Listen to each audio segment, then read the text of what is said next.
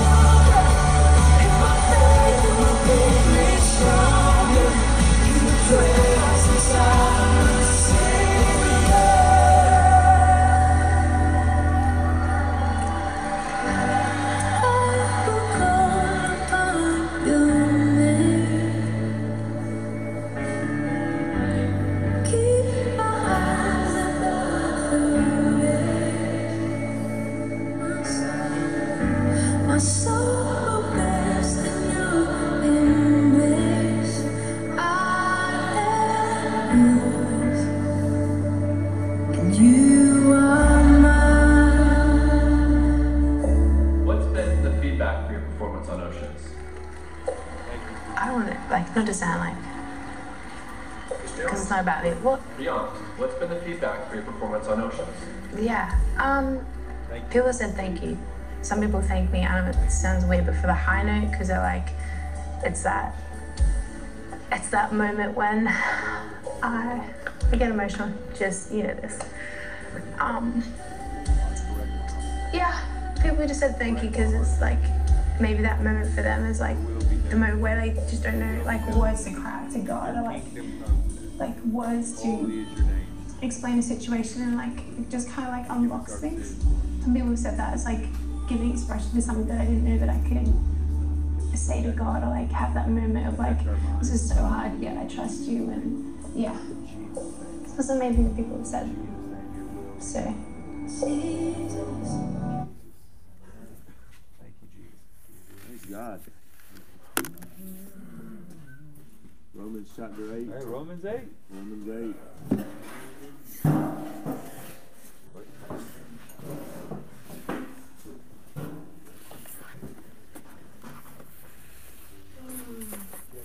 I love your goatee. You're super handsome. I was telling my old lady that last night. I was like, you see Jeff today? She was like, yeah. I was like, no, he looks super sexy with that goatee. she was like, I bet you won't tell him. All right. For real. Sexy too, man.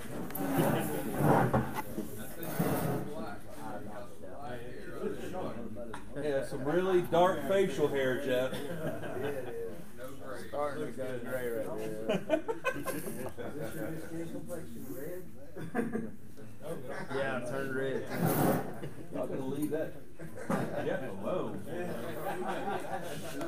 You want me to put the Santa picture up on the big screen? You don't even know how deep down. I don't. It went viral when I was asleep, I think.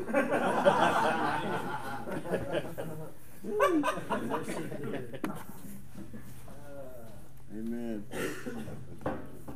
I'm going to say a quick prayer before we get started. Oh, Lord, we, we just thank you for this day. We thank you for joy. Thank you for joy. We thank you for just being able to, to laugh and have fun with one another. Just the, the new heart that you've given us, the heart of love, the heart of peace, of joy, just of your of your life. Oh Lord, we're so thankful. Thank you. so thankful we we stand in faith today and we believe for a word um, for today and, and the days to come. We know that um, we know that you have a purpose and plan for us. We can't even we can't even fathom the plan that you have for us, and we're grateful for that. We just yield to your Holy Spirit. You will. Everything that you've got for us in this moment for the future. Father, let us continue to press more into you and as we draw near to you, we thank you for drawing near to us and just revealing yourself to us greater than ever. We thank you for this this time in history that we've been called for such a time as this to to just go into this world and let our light shine, let you shine through us before this dark world, just to bring many, many, many men and women, women, sons and daughters to salvation.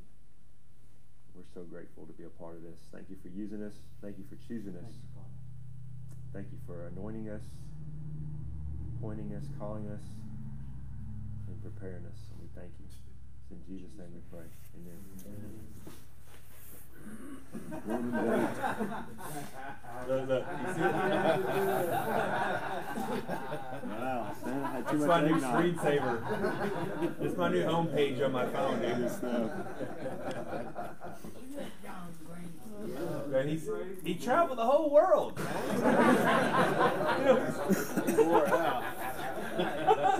Every every chimney in the whole world, man. He, he wore out. Got rid of his little belly and worked it off.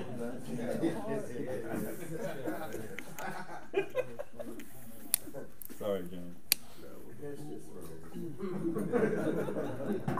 What's funny is I don't remember taking it off. I'm sure I woke up super hot. Romans 8. Josh, would you pull up the New King James, please. Yes, sir. Thank you.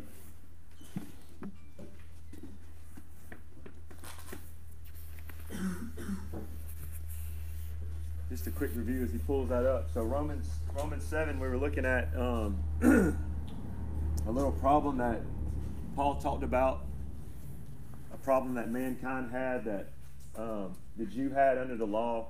The problem was a sin nature. The sin nature kept mankind from walking out the the laws of God, the things that God was instructing us to do. Um, the law was good; it was perfect. There was there wasn't a problem with the law. Hebrews said the problem was with them. The problem was with the sin nature. The sin nature would not allow mankind to walk these things out. So Paul talked about a little struggle that he was going through, and then transitioning into Romans 8, it shows the solution to that struggle. And solution was the new creation. The solution was not only the new creation, the new heart that we've talked about so many times from Ezekiel 36 that enables us to, to walk out love, to walk in love. And we talked about that. The new creation was a new heart that God gave us. And this new heart, a picture of it could be found over in 1 Corinthians 13, and we looked at it so many times, where it gives a description of love, what love is. Our original nature in Adam was love. When Adam decided to do his own thing, that nature was perverted. And I've said it many times, he went from being selfless to selfish. He became self focused, right? And if you're self conscious, you can't be God conscious, right? And we're supposed to keep our mind set on things above. So when this change took place, the new heart that we received, 1 Corinthians 13, this new heart that we received is what? Is patient, is kind, is long suffering, is temperate, is meek, right? Is gentle. This is so opposite of the old nature that we have to go through a process called what? Mind renewal. Right? We have to find out exactly what was placed on the inside of us. Because we've lived, for me, not really coming into the kingdom, I'd say probably to my mid 20s or late 20s when I got saved in prison, was when I really began to see truth. So I had just say 20, 28 years of baggage that I was carrying, that I've been carrying, and now I had to reprogram my thinking, right? And the Bible talks about it in Romans 12, and we talked about it many times, Romans 12, 1 and 2, where it says, Be not conformed to this world, but be transformed by what? Renewing of your mind. So if we're living a life that's not transformed, an untransformed life, it's going to go back to mind renewal right? That's going to reveal to us, man, I need to get back and I need to get into the Word and allow the Holy Spirit to begin, and the Word of God to begin to transform me, right? And that word transform is metamorpho. And it's the same word uh, that you see that takes place when, when a caterpillar, caterpillar is changed into what? A butterfly, right? And it takes something that's really ugly and it turns it into something really beautiful and graceful. And that's what God wants to do. And we talked about that in Romans 12, 1 and 2. And then we also talked about 2 Corinthians chapter 10, verses 3 through 5. And it talks about a form of spiritual warfare. Y'all remember what that discussed? Anybody? Say the scripture. 2 Corinthians 10, 3 through 5, where it says, The weapons of our warfare are not, carnal, but are mighty through God for the pulling down of strongholds. Right? And basically what it says in, in a simple form is if we if we have old thoughts, right? Because it says in Romans, we're going to look at it in a minute, to be carnally minded is what? Death. Mm-hmm. But to be spiritually minded is life and peace. So when those carnal thoughts come, like the enemy tries to come in with old thoughts, right? 2 Corinthians 10, 3 through 5 simply says to what? Cast down those thoughts. And this is a practice that we have to be good at, right? And in order to get good at this thing, we have to continue to do it, and we'll get better and better as we go, right? I want to give you an example uh, that just popped into mind is, um, you know, offense for me, like to get offended. Uh, for instance, for instance, with my wife. Like yesterday, my or Sunday, my wife. Saturday night, my wife went to Atlanta, and she was gone uh, all day, and then and then yesterday she was like late, and I just you know all the families in town, and I'm like, man, it's it's sometimes I feel I feel like she's focused on everybody but like what we got going on. You know what I mean? Like, and the enemy like brings that thought up, and then offense comes. Like I'm about to get offended, and I'm about to be like text or something. You know what I mean? Like text her, like why can, you can't be on my fight. You know, just like about to get ugly. Like I feel it in my spirit, and boom, Holy Spirit says, "You, you got an awesome wife." You know what I mean? Like you, you get what I'm saying? Like the, the, the Holy Spirit comes right then and says, Hey, no. Shalom, shalom. We're the, the gift of the, the Holy Spirit, the peace of the Holy Spirit said, boom. You know, and I was just like, I texted her back, no problem, babe. I'll, I'll see you. And then what's happened now, I don't know if it's spiritual maturity or, or, or what. So then what I do now is I go, I'm gonna do. So I cleaned up. I started cleaning up. I cleaned up the playroom. I cleaned up the bedroom. I, you know what I'm saying? I started cleaning up. And then my wife came home and she was like, "Man, gave me a hug. Sorry I'm late. Cooked it. You know, had dinner ready. Oh, you clean the clean this. Wow, thanks. You know what I'm saying? It's like the it, it changed my week. Oh yeah. You you, Oh, yeah. you know, Yeah. you you Yeah. you get in your feelings and get in your flesh, your old your old man, your old flesh, and you get in offense, especially with your wife. Golly, that's the worst thing ever. Then your whole you know pans are clanging, and and and we go about our duty, so to speak, but we're not in relationship.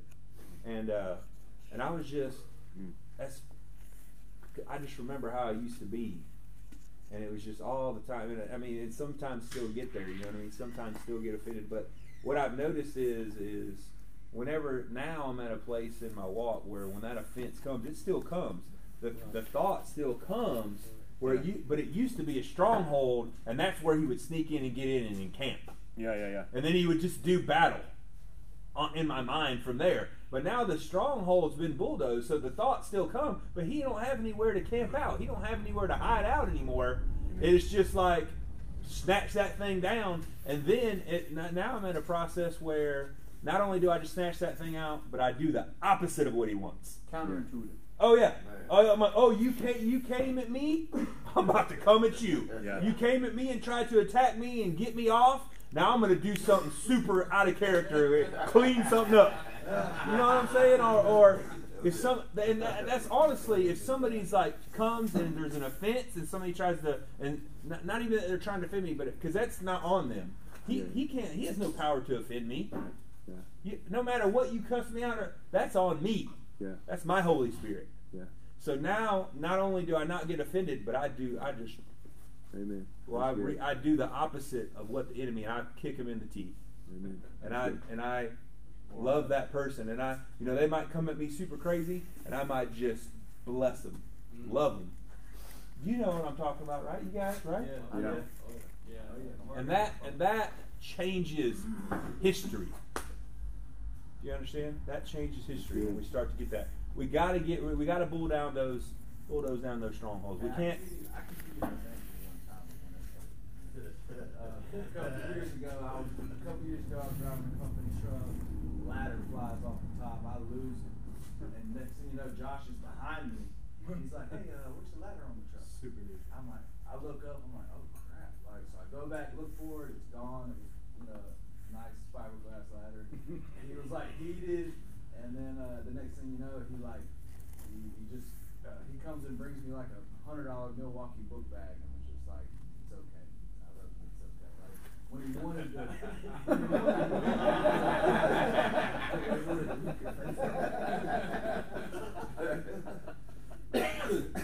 Yeah. It's good stuff.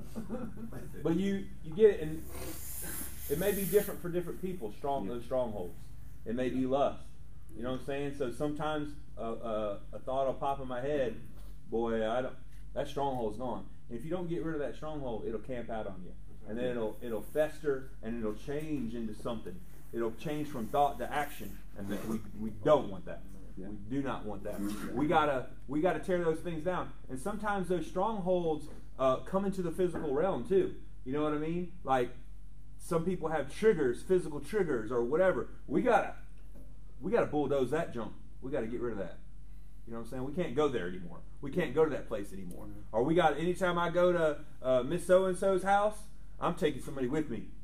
You understand? We got to start putting some things in, into place to protect ourselves as men of God spiritually. We can't go down that same road we used to. We can't go to that same place. We got to change out who we talk to, who we who we interact with, and and that.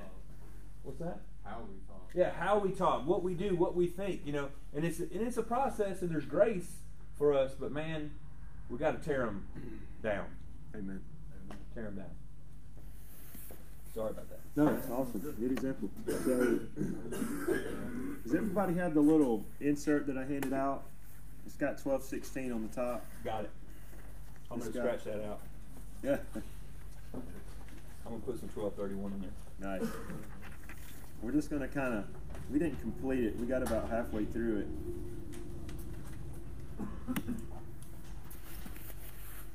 We're gonna go down it. I'm going to try to finish up half of uh, page five, all the way down through verse twenty-nine, Romans eight twenty-nine. So coming down on your handout, um, we just talked about Romans 7. We did the Romans 7 review. Um, and coming into Romans 8 1, under the law, in the sin nature, we were bound to condemnation. So that was one of the things that um, Paul talked about. And of course, in Romans 8 1, it says, Those who are in Christ, there's what? Therefore, no more condemnation. So when we're in Christ and we begin to walk according to our new nature, it alleviates all that condemnation, guilt, and shame that used to be there when we were, you know, before we were saved, and then also prior to walking in this new life. Um, Romans 8 2, it says, The law of the Spirit of life in Christ Jesus is our new nature and has us, set us free from the law of sin and death, which was our old nature. So, the Bible talks about in Hebrews and also a little bit in Ezekiel, but more so in Hebrews, it talks about the law has been written on our heart, right? So the law of love has now been written on our heart, on our new nature, and it has set us free from the old nature. Okay? It has set us free. Verse 3 and 4 um, on, our, on our handout says that we're now able to walk out the law of love through the power of the Holy Spirit in our new nature in Christ. The life that God desired the struggle that Paul went through, and it talks about it in Romans 8 and 3. It says, What the law could not do in that it was weak through the flesh, God did so by sending his own Son in the like, likeness of sinful flesh on account of sin. He condemned sin in the flesh, Romans 8 4, that the righteous requirement of the law might be fulfilled in us, who do not walk according to the flesh, but according to the Spirit. So those who walk according to our new nature, guess what? We're now able to walk this thing out That's right. the law, under the law, Romans 7, Paul wasn't able to do it. So God sent Jesus. Jesus crushed sin. He crushed hell. He crushed the grave, right? He, he ascended next to the Father, and now we're seated together with him in that victory. We're seated in that place of victory, and now the victory of the cross has given us the power over that old nature. The thing that the law was unable to do. See, the law was just a schoolmaster. The law was just a tutor. The law pointed to Jesus. It revealed to us you are not able to do this on your own. You don't have the power to do this. Right? You need a Savior. And God knew that. That was the whole purpose of it. To point. And there's so many people still today who, living under the law, some people, you know, like people who still try to fulfill parts of the law, they still don't see that Jesus Christ was the answer to that. And they still have rituals and they still have things that they do to try to to try to please God. And God said, No, the only way you can please me is by faith in my son. And when you do this, there's a change, and now you can walk this thing out. The thing that the law couldn't do, now you're able to do it. Amen. Verse 6. Romans 8 6. The carnal mind needs to be replaced with the mind of Christ, and that's what we've been talking about. What did we, y'all remember the example that we gave of the mind of Christ? Philippians chapter 4. Right? Philippians chapter 4 says, whatever is lovely, whatever is pure, whatever is of good report, whatever is praiseworthy. Right? Meditate on these things. And that goes back to 2 Corinthians 10. If it's not lovely, if it's not pure, if it's not of a good report, if it's not praiseworthy, what do we got to do? We got to blast it. Pull it down. Blast it down. Yeah. This is the mind of Christ. It's odd to us because we we we have had the in the old man, the old nature, prior to being born again, and even some of it coming trying to come into the new man, mm-hmm. having to resist it. But in the let's just say in the past, you know, lustful thoughts, maybe we would run with it. Maybe we'd let it take us some somewhere. Maybe an angry emotion. You know, maybe we'd let it take us a little too far. You know, maybe an offense tries to get in. Right? And instead of resisting it, what do we allow it to do? We call up some buddies. Oh, you're not going to believe what so and so did. You know, we call it three or four friends, and they then they tell three or four friends, and then they tell, and the next thing you know, you know, you've really probably per, really warped the perception of people on some of, on a person right? You've created this picture of a person. Maybe it's not true. Maybe that person just got out of character for a moment, and that's not really their character. And they and they said or did something they shouldn't have done, and now we've got a hundred different people with this warped perception of that person. That's the danger of getting into offense and getting in, into gossip and backbiting and all those things, right? It sows seeds of bitterness of a person that's not true, right? And we don't want to get into that place. So now we have to, where we used to have this stinking thinking, as they said, or warped thinking, we want to replace it with things that are lovely. Yeah. We want to replace it with things that are pure. We want to replace it with the good report. You know, we want to we want to replace those harsh words that we used to speak with what? Kind words. The Bible defines prophecy as, as this in the New Testament. It says prophecy is words that edify, exhort, and comfort right? We want to build people up. And hey, we're all growing in this thing. None of us have none of us have arrived. We're getting there. Yes, we are getting there. We, we have come a long way. All of us have, and we're and we still have a long way to go. But we are in this journey, and God is changing us.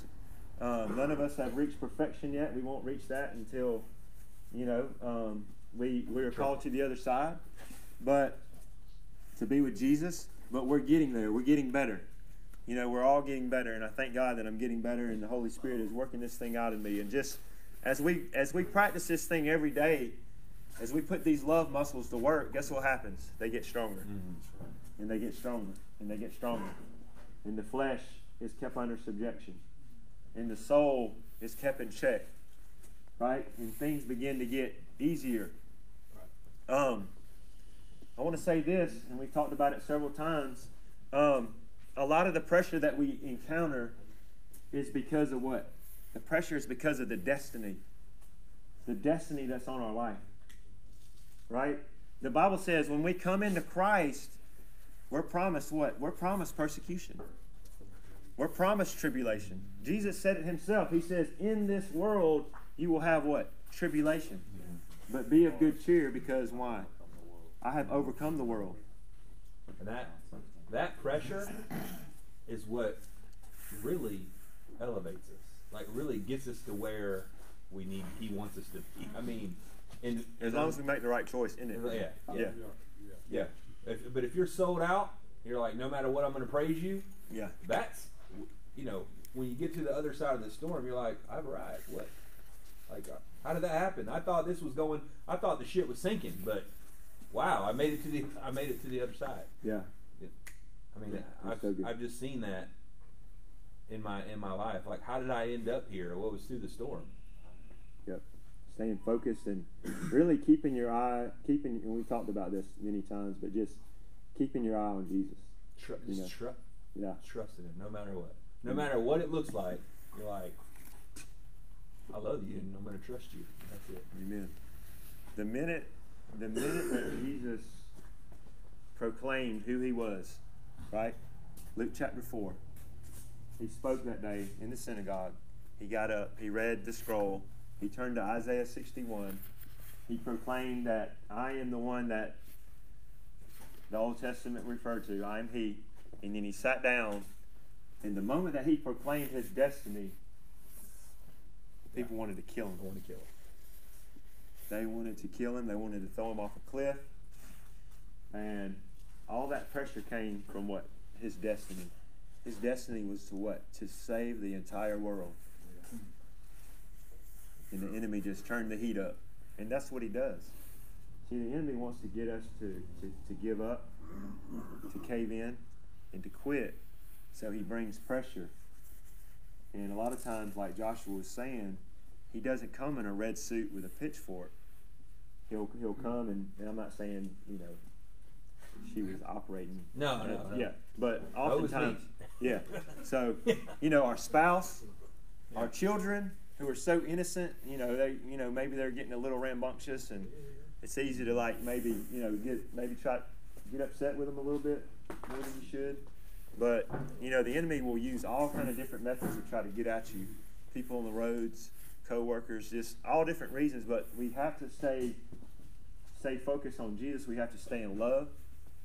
You know, we have to cast down those thoughts.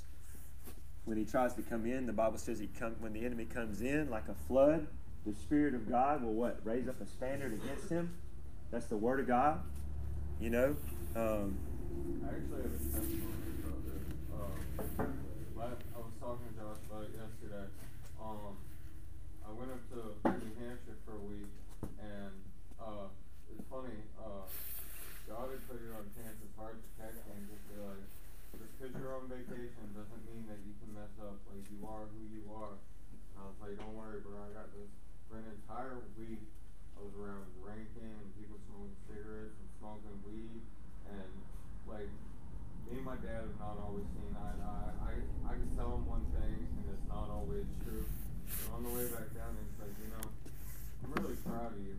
Like, why is that? And it's like, well, you know, you told me that you quit uh, doing the things that you used to do. You quit drinking, you quit smoking cigarettes. But I didn't know if I believed you with, you know, your uh, track record. And he said, but for the last week, you literally were surrounded from the time you woke up to the time you went to sleep. And uh, he, he's like, nobody who didn't quit could just be around it for that long and just do it uh, to show faith. And uh, uh, I, the only thing I could say is I looked at him and I was like, I don't, I don't need those things. I got Jesus. amen. Yeah, stronghold got bulldozed down. Amen. That's so good. Thank you And, for sharing uh, that. I mean, I had temptations at first, like uh, some things more than others, but I just all I did was pray about it, and God answered prayers. Amen. Amen. Thank you. I guess these classes are paying off a little bit. So uh, Romans eight and eight. Um, let's come on down. It says, "Those who are in the flesh cannot please God." So, I believe this is speaking about. Um, this is more than just talking about just walking in the flesh. I believe it's talking to, referring to unbelievers who cannot please God. Okay? And the reason why I say that is because God's not pleased by our works. God is pleased by our what? Our faith. He's, he's pleased by our faith because the Bible says without faith it's what? Impossible to please Impossible to please Him. So coming into the kingdom, coming into the, how do we come into the kingdom? We come in by faith right? Faith in the cross, and we become born again. When we become born again, God looks at us and He says, "This is my son, you know, in whom I'm whom I'm well pleased." You know, or this is my mm. daughter, in whom I'm well pleased. Right? And I believe in that moment, you know, the Bible says that He, the Spirit, bears witness with our spirit that we're what? That we're sons. You know, He says, "I'm pleased with you." So come on down to let's look at verse 9 but you are not in the flesh let's just say the old the old nature you're not in the old nature but you're in what the spirit if indeed the spirit of god dwells in you like but you are not in the flesh but in the spirit if indeed the spirit of god dwells in you okay so if the spirit dwells in you you're what it's, it's an indication that you're born again you're no longer in the old nature the old man is dead and now the spirit of god dwells in you and this is an indication that you have been born again, right? You have the Holy Spirit. Because prior to being born again, you could not have the Holy Spirit. We're not talking about the baptism, we're just talking about the infilling. right? The indwelling. All right. Now, if anyone does not have the Spirit of Christ, he's what? He is not his. So there it is. If anyone does not have the Spirit of Christ, then he is not his. Verse 10 And if Christ in you is in you, the body is dead because of sin, but the Spirit is life because of righteousness. I like what the. Can you pull the NIV up on that, Joshua? Yes, sir. In that particular verse? I like what the. It'll kind of help you understand this.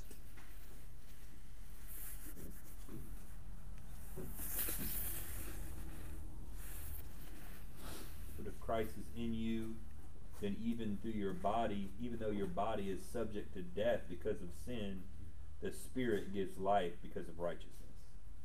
Amen. Amen. So when we when we came into this world because of what Adam did, the Bible says sin entered the world. Guess what's attached to that sin? Death. Death, yeah.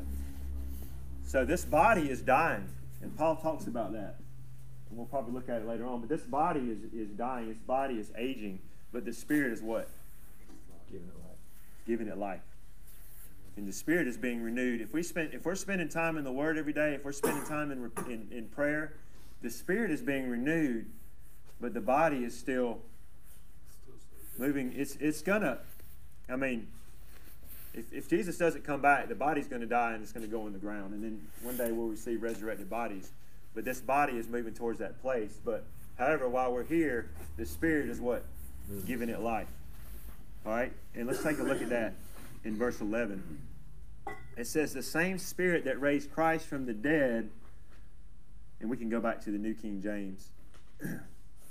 I'll just read it. I'll read it from the New King James and then we'll talk about it. But if the spirit of him who raised Jesus from the dead dwells in you, he who raised Christ from the dead will also give life to your mortal bodies through his spirit who dwells in you. Okay, so this is talking about a, di- a couple different things, right? So one thing it's talking about is a future resurrection, right? The resurrected body. Another thing it's talking about for the pre- this present moment, this present time, is talking about a life that's been placed on the inside of us, the life of God, coupled with the Holy Spirit, is giving life to our what? Mortal. Our mortal bodies. So this is how we're able to type. Some people are able to tap into a, a divine health, if you will, our healing. When we pray for people, what happens is, is there is a life is released. There's a release of life from inside of us, from the Holy Spirit that's inside of us, and it's released into that person that we're praying for right? And this life is also given what? Life to our mortal bodies, right? And some people are able to tap into that more than others. And, and, and of course, lifespans are some lifespans are longer. But it's just nice to know that the same power that raised Jesus from the dead, that same power dwells on the inside of us. Man, that is powerful. The same life that raised Jesus from the dead. He was in the grave for three days. Three days. That same life that brought him back is on the inside of us. And it's, it says it's given life to our what? Mortal Mortal. bodies. That means right now, life is being released. So when we have a sickness or something that comes against us, we can begin to release that faith in that life, and it brings life to our bodies. It brings healing to our bodies, right? We're not going to need healing when we get to heaven. We need healing now. Mm-hmm. When we get to heaven, everything's going to be made new. We need healing now. We've been given a commission to go out to preach the gospel, not just by word, but by what? Demonstration. And if we're not walking in this thing, how are we going to be able to release it? And I believe coming into this new year, I believe that this is going to be a year of many signs and wonders. I believe this is going to be a year that the Spirit, as Joel talks about, the Spirit is going to be poured out. It's already being poured out upon all flesh. And sons and, and, and daughters and old men are they going to dream dreams. And there's going to be great visions, right? And the power of God, I believe, as we approach this, these end days, these end times, the power of God is just going to begin to grow more and more and more. right? And we're stepping into something that we've, we've never seen before. We're stepping into an unprecedented time. And God wants us to get a revelation because 1 John chapter 4, verse 4 says what? Greater is he that's in us than he that's in the world. So when things begin to come in, we can begin to stand on that word. When the enemy begins to come in, we can release the word of God like a flood. Right? When we release the word of God and that light is released, the darkness cannot comprehend it. It can't. And sometimes we don't see it. Sometimes maybe we'll pray for a situation and it seems to linger, but we just have to stand on the word. Ephesians 6 talks about standing and standing and standing. And when all you've done all you can do, what? Stand. Keep standing on the word. Don't allow it to, the pressure comes in because of what? The word's sake. Persecution comes because of the word. Don't allow that persecution to pull you away from God's truth. Stand on it no matter what. So the same power that raised Jesus from the dead has given life to our mortal bodies, and that same life is released as we pray for people in the streets every day when we're out there. It's released, and it's awesome. Let's come on down.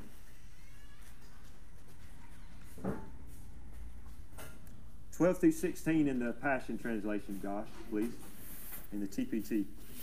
Can you read it for me? Yes, sir. Thank you.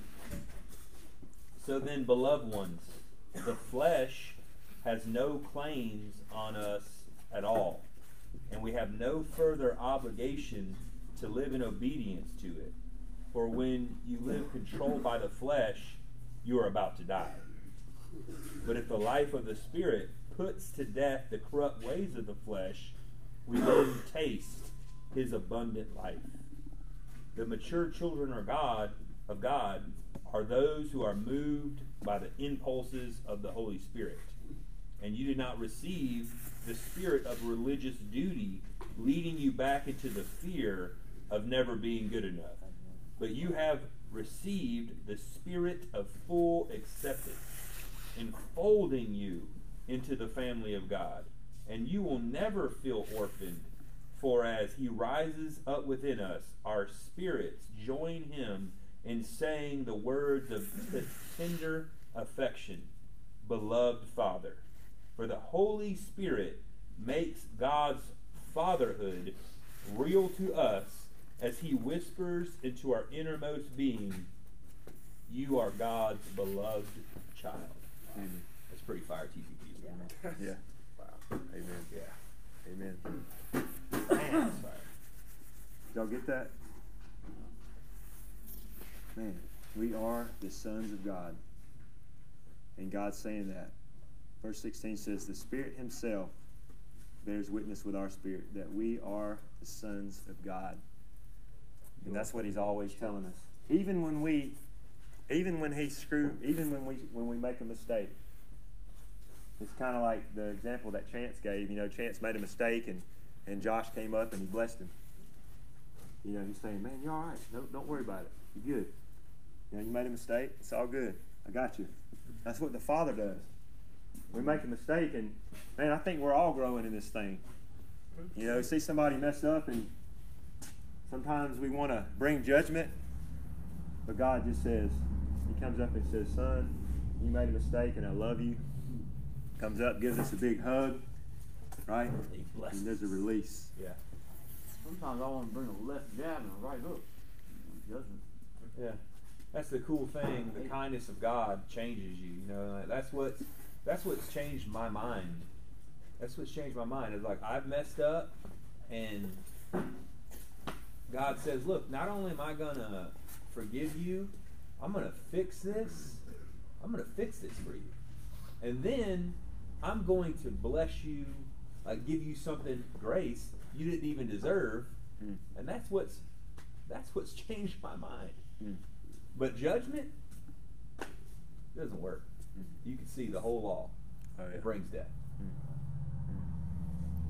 It'll mess up a relationship too, quick. And judgment, yeah, it doesn't work. Especially in a marriage, like you said, it could cause it could something like that could sp- flow out into the whole week, and Yeah, yeah, yeah, And you- God doesn't even hear your prayers. The word says, yeah, "Won't even hear your prayers."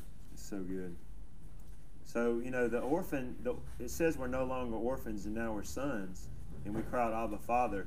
But the, the orphan mindset would be like what you just said, Justin, like James and John. They saw these people that weren't really rolling with them. They were kind of like in a different circle, and they wanted to what? They wanted to call down fire from heaven and zap them. and Jesus rebuked them. He says, "You don't know what what manner of spirit you are. Like, they're good. You know, I didn't I didn't come to do that. You know, that was the judgment of the Old Testament.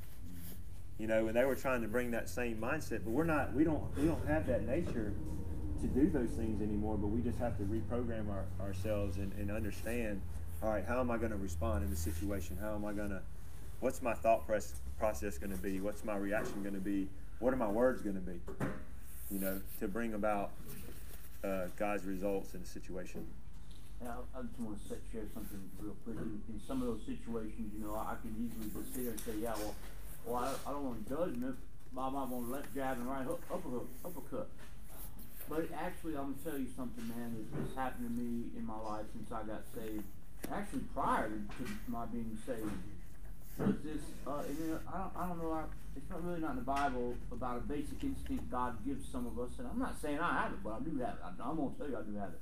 And I was talking to Institute about before that in that situation, in the heat of the moment, or whatever's going on, what I would normally do in the past sometimes violence, bam, violence, right? But now, and I, I, I, like I said, mentioned before, I don't like it. Most of the time I do, sometimes I don't.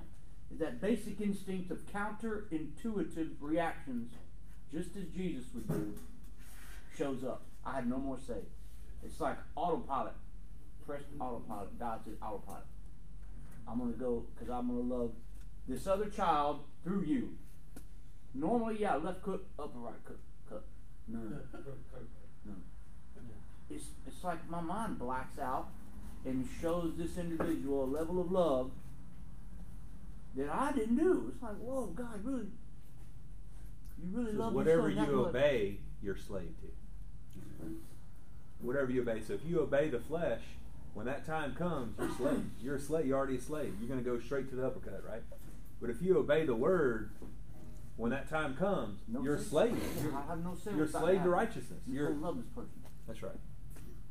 Amen. So we're just going to finish this last couple verses on this page, on this insert. Um,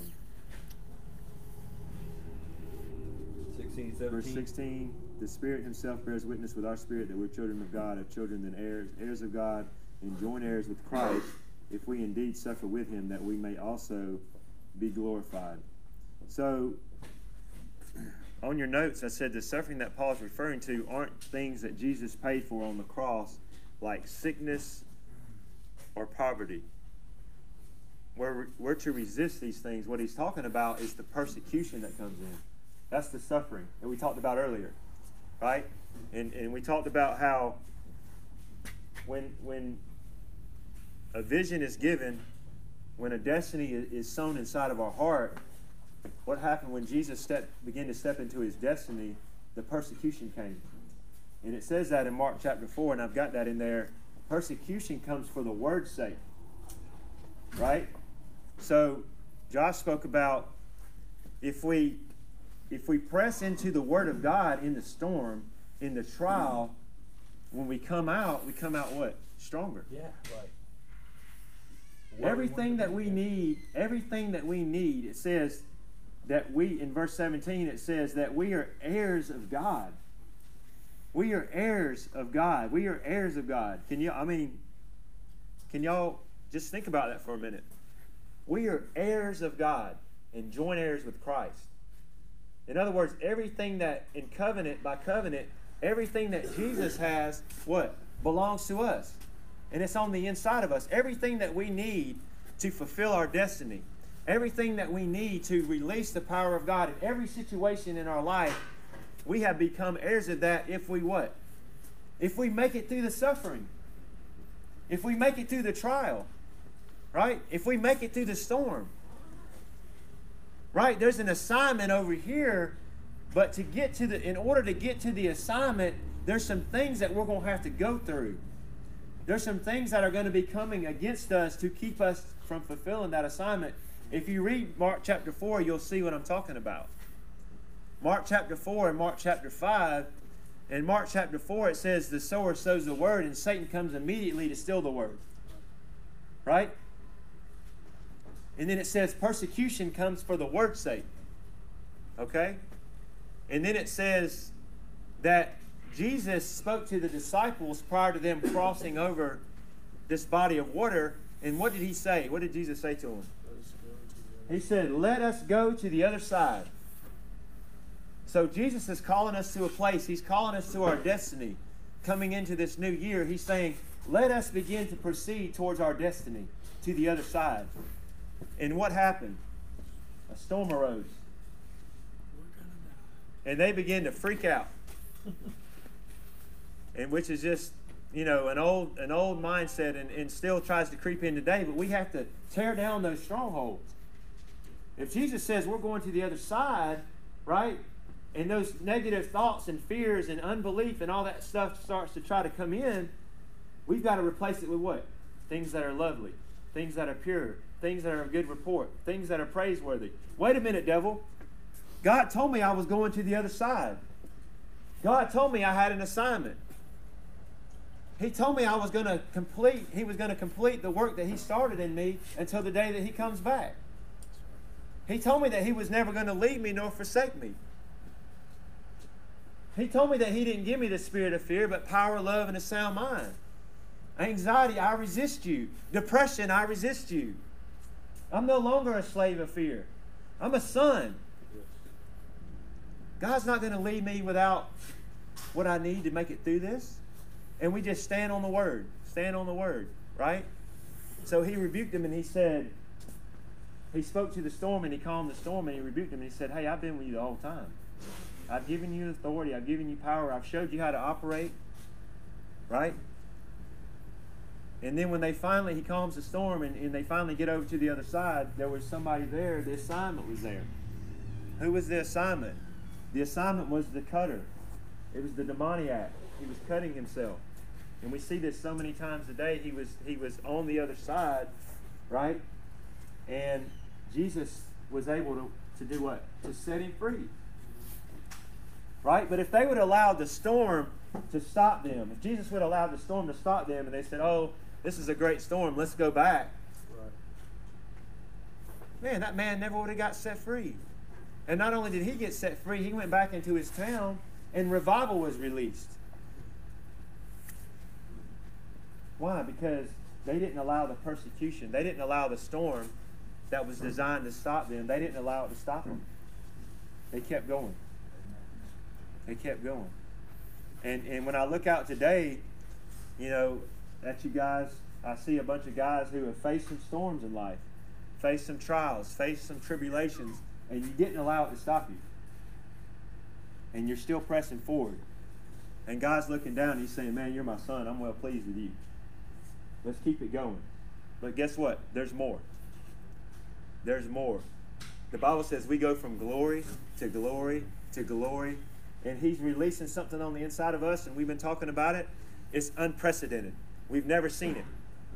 We've never seen it in this world. We've never seen it in our life. And Jesus said, The works that I do, you'll do what? Greater. Even greater.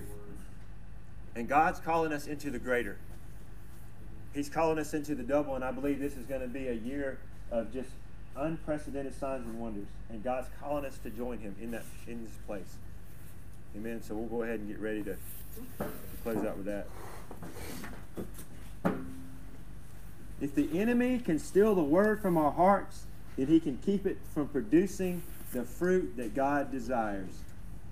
That's why Proverbs says in Proverbs 4 that we have to what? Guard our hearts above everything else. All right. Testimonies, I got an announcement. requests, announcements. Who's all? Y'all come up a little closer. Listen, tonight, you know, tonight's New Year's. In times past, it's been our habit to go out and just tie one on, right?